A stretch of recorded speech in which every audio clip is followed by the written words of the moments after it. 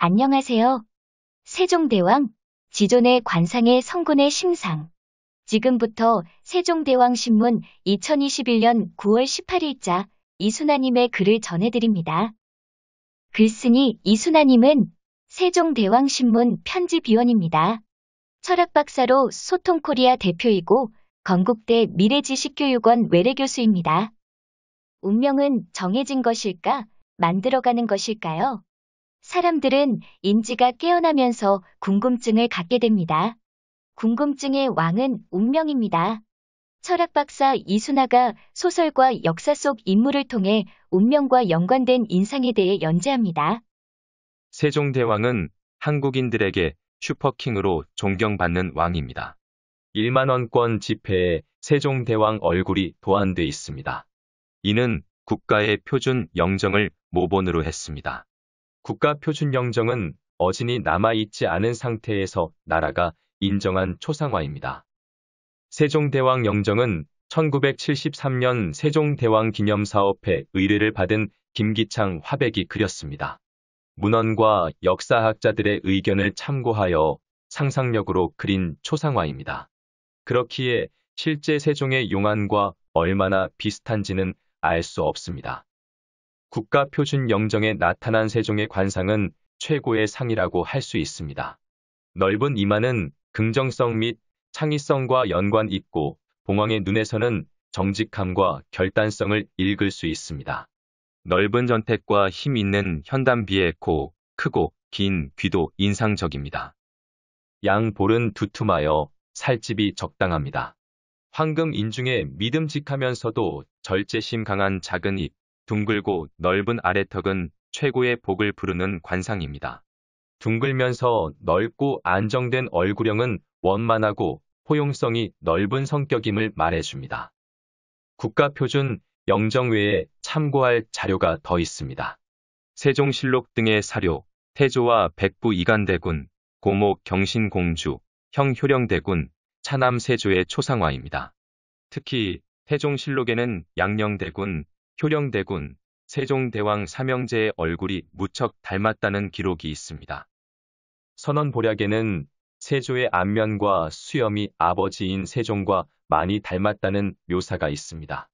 세조의 어진 밑그림을 보면 얼굴이 둥글 넓적하고 통통한 얼굴로 부드럽고 순한 인상입니다. 세종실록의 기록과 세조의 밑그림을 복원하여 만든 초상화와 그 밖의 자료 등을 참고하여 관상평을 씁니다. 세종대왕은 비만한 체형의 태음인입니다. 골격이 큰 후덕한 체형으로 중증 시각장애인입니다. 세종의 체구는 비만하고 안면은 둥글널쩍할 가능성이 큽니다. 조부인 태조와 아들인 세조 둘 다 모두 체격과 신장이 큰 편입니다. 때문에 세종도 키가 컸을 것입니다. 키가 크고 체격이 장대한 체형은 조선 초기 이씨 왕가의 유전적 특징입니다. 눈썹이 흐리고 높이 달렸으며 눈은 신장 기능이 약해 부종이 있습니다. 눈은 작으면서 흑백이 분명하고 치켜 올라갔으며 옆으로 길게 찢어진 눈매였을 가능성이 큽니다.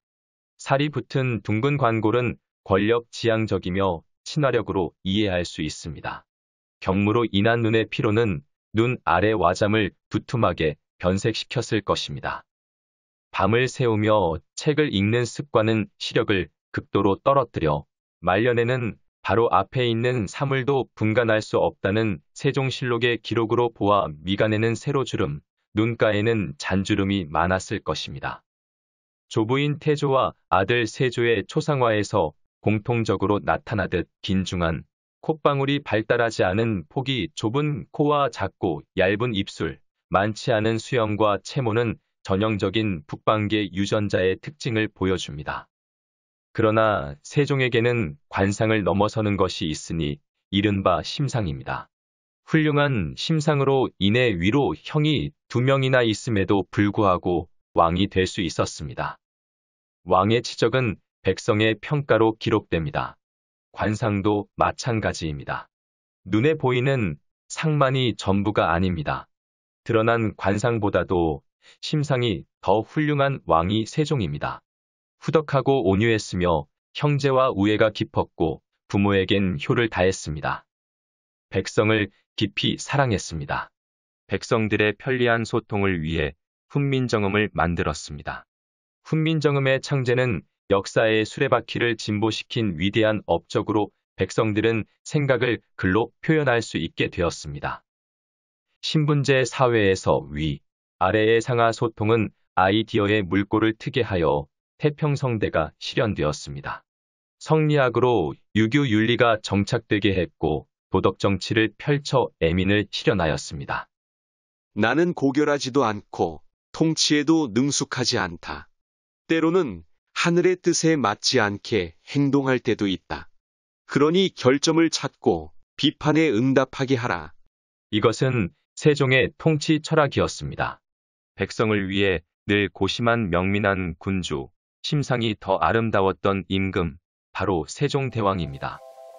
세종대왕, 지존의 관상의 성군의 심상. 에 2021년 9월 18일자 이순아님의 글이었습니다. 감사합니다.